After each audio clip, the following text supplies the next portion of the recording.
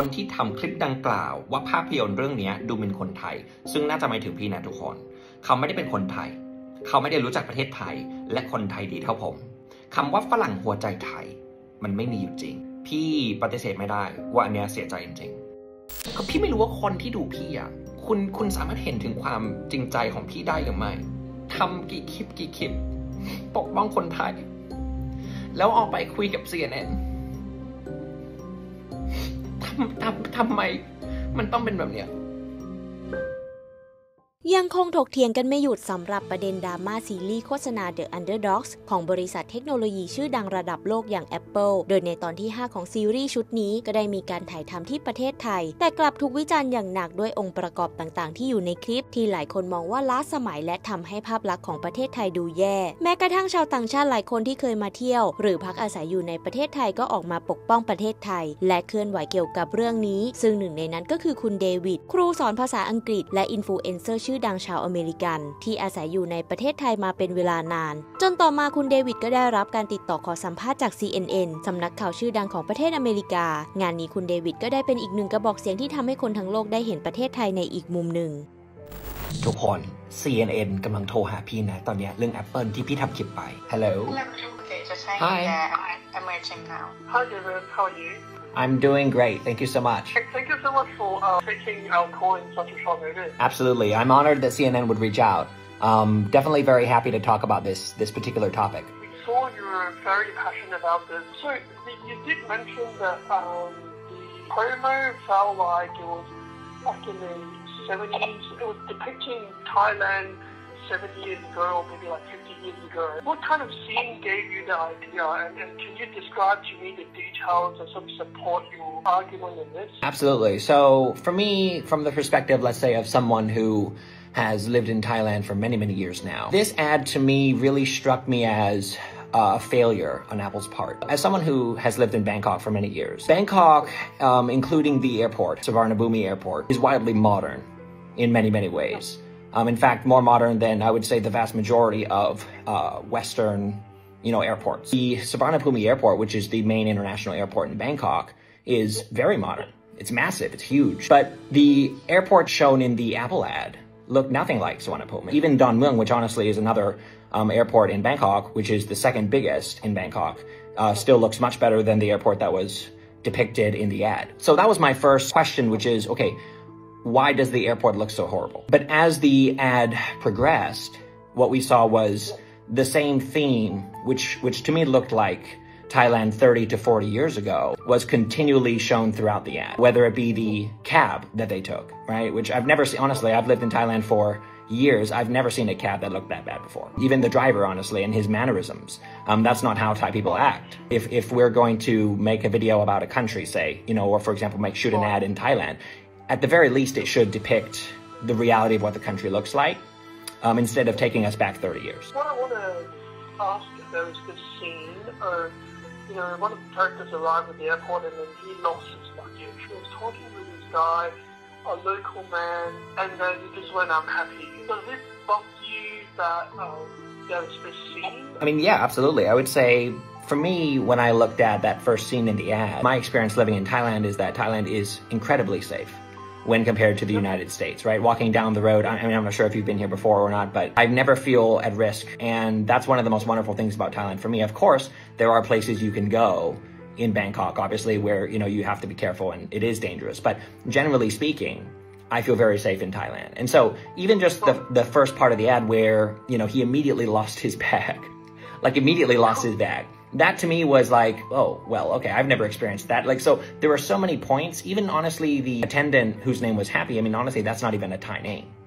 right? So, so for me, just looking at this from my perspective, I feel like there was very little homework done on Apple's part. What are people's names? What are common names in Thailand? I mean, I really do want to use this opportunity just to project so that the world understands. And I think this is very, I just want to reiterate this. Thailand is a modern, safe, beautiful country. And I want, Yeah, yeah, yeah, you know what I mean? Like that's kind of really what I want to say. And, and I hope that people, you know, who may have seen the Apple ad who feel like, oh, Thailand looks like it sucks. I, I just hope that they don't misunderstand that no, in reality, if you were to come to Bangkok, you'll see it's wildly modern. extremely modern, beautiful. People are wonderful. It's a safe country. So I guess that's that's the main messaging I wanted to get out. When you look at other Apple ads, or even this particular ad, at the very beginning, when when the setting is the United States, there's a different coloring scheme, right? So as a creator myself, as a content creator, right, the coloring scheme in the United States is super great, right? Modern, the, the room is super beautiful. But as soon as you hit Thailand, the coloring scheme changes, right? And so for me, looking at that, I feel like, wow, like, is that a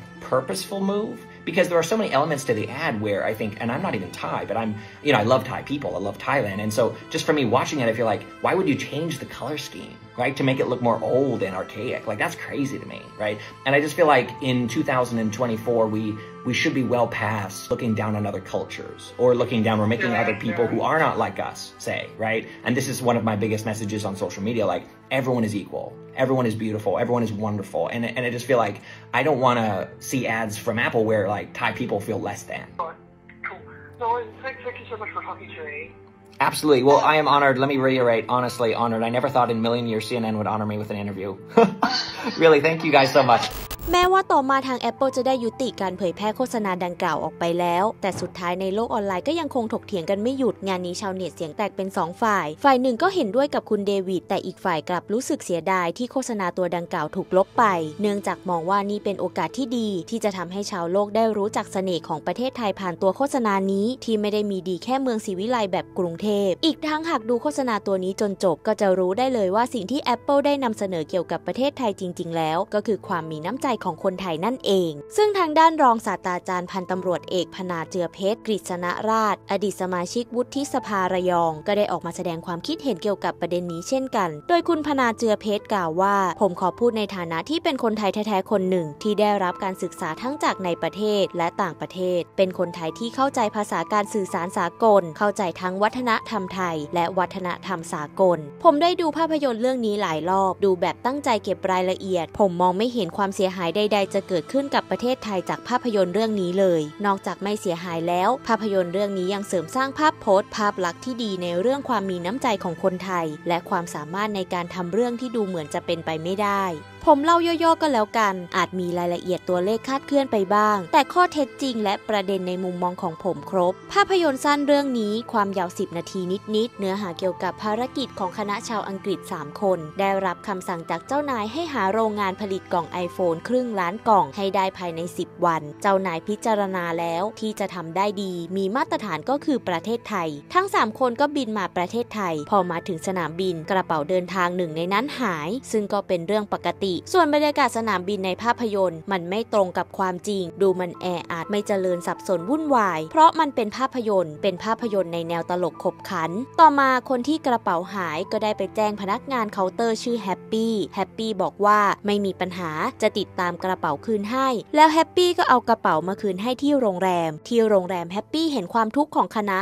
ที่จะต้องปฏิบัติภารกิจนี้ให้สำเร็จแต่ไม่มีที่ไป ไม่รู้จะทำอย่างไร เวลาเหลืออีก 4 ชั่วโมงจะถึงเส้นตาย แฮปปี้ผู้ซึ่งไม่มีส่วนได้ส่วนเสียอะไรเลย แค่เอากระเป๋าเดินทางมาคืน ได้อาสาพาคณะนี้มาที่ระยองบ้านผม พามาด้วยน้ำใจล้วนๆ โรงงานระยองได้ผลิตกล่องให้ตามความต้องการ ช่วยจบภารกิจนี้ได้สำเร็จภาพยนตร์เป็นภาพยนตร์แนวตลกขบขัน การถ่ายทำสวยงาม ดูสนุกในสายตาผม ไม่มีเนื้อหาตรงไหนที่บอกว่าประเทศไทยด้อยพัฒนา หรือหมิ่นเหยียดคนไทย มีแท็กซี่ผมยาวหน่อยก็ไม่ได้ผิดอะไร ไปส่งโรงแรมผิดเป็นโรงแรมจิ้งหรีด ซึ่งมันพ้องกัน ต่อมาก็ได้ไปนอนโรงแรมหรูตามที่จองมา และต้องเข้าใจว่ามันเป็นภาพยนตร์ทำให้ดูสนุก นอกจากนี้คุณพนาเจือเพชรก็ได้กล่าวถึงประเด็นที่ชาวต่างชาติรายหนึ่งออกมาวิพากษ์วิจารณ์เกี่ยวกับเรื่องนี้ โดยมองว่าสาเหตุที่เกิดปัญหาจากภาพยนตร์เรื่องนี้มาจากคลิปของชาวต่างชาติคนหนึ่ง น่าจะเป็นคนอังกฤษ ผมเข้าใจว่าเขาอยู่เมืองไทย สอนภาษา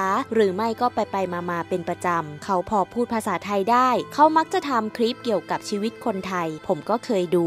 นายคนนี้มาจับประเด็นว่าภาพยนตร์เรื่องนี้ หมิ่นคนไทยทำคลิปชี้นำไปในทางนั้น คลิปที่เขาทำเป็นไวรัลมีผู้ชม 4 ล้านกว่าคน คนไทยที่ไม่ได้ดูภาพยนตร์เรื่องนี้ คงตื่นข่าวกันไปใหญ่ ไปคล้อยตามที่เขาชี้นำกระหน่ำเม้นด่าพลานชวนให้ไม่ใช้โทรศัพท์ยี่ห้อนี้ โดยลอกขี้ปากตามๆกันมา วิจารณ์ต่อๆกัน โดยไม่รู้เรื่องไม่ได้ชมภาพยนตร์ หรือถ้าชมก็ไม่เข้าใจเนื้อหาสาระ คนที่ชมจริง ๆ โดยละเอียดหลายรอบอย่างผม ผมว่าคงคิดคล้ายผม ไม่ได้คิดแบบนายคนที่ทำคลิปไม่ได้มองเห็นแบบนั้น ผมขอฝากให้คิดกันว่า คนทำคลิปที่กล่าวหาว่าภาพยนตร์เรื่องนี้ดูหมิ่นคนไทย เขาไม่ได้เป็นคนไทย เขาไม่รู้จักประเทศไทย และคนไทยดีเท่าผม ไอ้คำว่าฝรั่งหัวใจไทย มันไม่มีอยู่จริง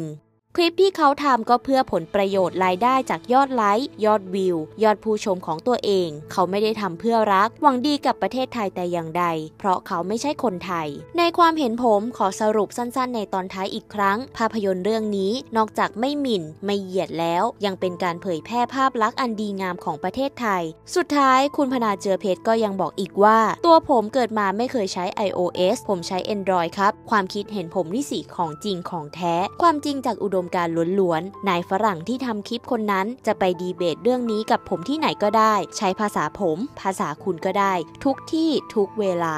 งานนี้หลายคนก็โยงไปถึงคุณเดวิดทำเอาชาวเน็ตหลายคนไม่พอใจ เข้าไปแสดงความคิดเห็นในโพสต์ของคุณพนาเจือเพชรกันยกใหญ่ บางก็เห็นด้วยกับคุณพนาเจือเพชร แต่บางคนก็ไม่เห็นด้วย โดยมองว่าไม่ผิด หากคุณพนาเจือเพชรจะเห็นต่าง แต่การวิพากษ์วิจารณ์และพูดถึงคุณเดวิดแบบนี้ ดูไม่ค่อยเหมาะสมเท่าไหร่นักทำให้ต่อมาคุณพนาเจือเพชรก็ได้ออกมาชี้แจงถึงประเด็นของคุณเดวิดอีกครั้ง โดยกล่าวว่า ผมลงมุมมองของเดวิดกับภาพยนตร์เรื่องนี้ให้อ่านกันทั้งดุ้นเดวิดพูดแบบนี้ได้ใจคนไทยที่ไม่ได้ดูภาพยนตร์เรื่องนี้ รวมถึงคนไทยที่แห่ด่าตามกระแสโซเชียล โดยไม่ได้ดูด้วย ที่เดวิดพูดมาจริง แต่จริงเฉพาะเรื่องที่เดวิดอยากให้คนไทยเชื่อแบบนั้น เดวิดอย่าอ้างว่าอยู่เมืองไทยมาแค่นี้ แล้วรู้จักคนไทยดี ผมเกิดที่นี่ โตที่นี่ ผมยังแทบไม่รู้จักคนไทยเลย ผมถามว่าที่เดวิดว่าคนไทยไม่มีชื่อแฮปปี้แล้วมันเกี่ยวอะไรกับหนัง มามองมุมผมบ้าง สิ่งที่เดวิดพูดถึงหนังเรื่องนี้จริง แต่เดวิดเลือกพูดบางส่วน พูดในส่วนที่ทำให้บริษัทสร้างหนัง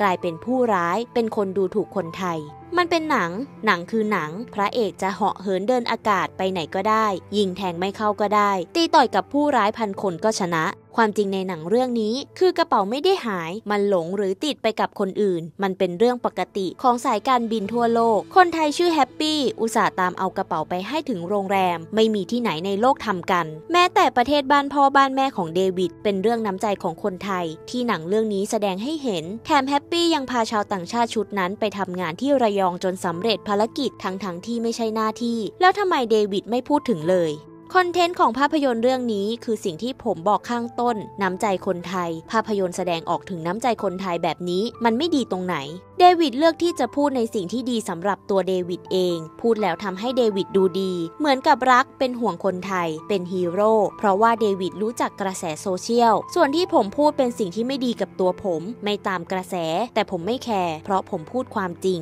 หรือเพื่อนในเฟซคิดว่าการที่ผมมองว่าภาพยนตร์ชุดนี้ไม่ได้ทำร้ายประเทศไทย หมายความว่าฝรั่งที่มาอาศัยประเทศไทยทำมาหากินอย่างเดวิดรักประเทศไทยมากกว่าคนอย่างผม คลิปที่ผู้สื่อข่าว CNN โทรคุยกับเดวิดเดวิดดิวโพสต์อวดด้วยความเท่นั้น ผมก็ดู ผมยืนยันตรงนี้ว่าถ้าภาพยนตร์ชุดนี้ยังอยู่ และออกไปสู่สายตาชาวโลก ประเทศเราจะบวกมหาศาล เพราะว่าคนไทยมีน้ำใจล่าสุดค่ะ คุณเดวิดก็ได้ออกมาเปิดใจเกี่ยวกับประเด็นนี้ทั้งน้ำตา โดยยืนยันว่าตนเองไม่ได้มีเจตนาเกาะกระแสเรื่องนี้ เพื่อผลประโยชน์ของตัวเองอย่างแน่นอน คือนี่เป็นหนึ่งคลิปที่พี่ทำด้วยความหนักใจสุดๆ ราะว่าล่าสุดเนี่ยพี่โดนด่าแรงมากทุกคนในประเด็นของ CNN แล้วในประเด็นของ Apple แต่ว่าก่อนอื่นเนี่ยพี่ขอเนี่ยอ่านให้ฟังแล้วกันคือเขาได้เขียนว่าผมขอฝากให้คิดก่อนว่าคนที่ทำคลิปดังกล่าวว่าภาพยนตร์เรื่องนี้ดูเป็นคนไทย ซึ่งน่าจะหมายถึงพี่นะทุกคน เขาไม่ได้เป็นคนไทย เขาไม่ได้รู้จักประเทศไทย และคนไทยดีเท่าผมคำว่าฝรั่งหัวใจไทย มันไม่มีอยู่จริง คลิปที่เขาทำก็เพื่อผลประโยชน์รายได้จากยอดไลค์ยอดวิว ยอดผู้ชมของตัวเองล้วน เขาไม่ได้ทำเพื่อรักหวังดีกับประเทศไทยแต่อย่างใด เพราะเขาไม่ใช่คนไทย คือก่อนอื่นเนี่ยพี่ปฏิเสธไม่ได้ว่าอันเนี้ยเสียใจจริงๆ เสียใจมากๆ คือตอนพี่อ่านรอบแรกอะพี่ร้องไห้นะ พี่ร้องไห้เพราะว่า ก็พี่รู้สึกว่าตัวเองเป็นคนไทยอะเอาจริง พี่ไม่ได้รู้สึกว่าเป็นคนอเมริกันนะทุกคน แล้วแล้วพี่อยากให้ทุกคนที่ดูพี่เข้าใจสิ่งเนี้ยว่าคือพี่มามีบ้านในประเทศไทยใช่ปะแล้วคือพี่ไม่รู้ว่าคนที่ดูพี่อะ คุณคุณสามารถเห็นถึงความจริงใจของพี่ได้หรือไม่ แต่การที่โดนเหยียดแบบเนี้ย การที่เขาบอกว่าแบบ พี่ไม่ใช่คนไทย จะไม่มีวันเป็นคนไทย จะไม่มีวันสามารถแบบเป็นฝรั่งหัวใจไทยได้ก็พี่รู้สึกเหมือนแบบ เป็น outsider อะคือคำถามเดียวที่อยากจะตั้งวันนี้คืออะไรรู้ปะคือเราต้องทำอะไรถึงคนไทยจะยอมรับเรา เราต้องทำอะไรถึงคนไทยจะแบบ มองเราว่าเท่าเขา อันนี้คืออยากรู้จริง เพราะว่าพี่เสียใจมากเลยนะแล้วต้องขออภัยทุกคนถ้าเราหายแต่มันเสียใจจริงๆ กับการที่ทำกี่คลิปกี่คลิป ปกป้องคนไทย แล้วออกไปคุยกับ CNN นึกออกปะคือทำทำทำไมมันต้องเป็นแบบเนี้ยทำไมทำไมเราไม่สามารถเป็นคนไทยได้ทำไมเราแค่ หน้าตาหน้าตาไม่เหมือนหรอ